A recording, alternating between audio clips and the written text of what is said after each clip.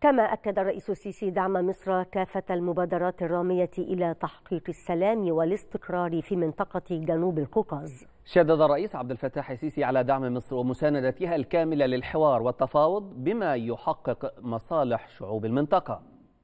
كما أكدت خلال المباحثات على دعم مصر لكافة المبادرات الرامية إلى تحقيق السلام والاستقرار في منطقة جنوب القوقاز ومساندتنا الكاملة للحوار والتفاوض.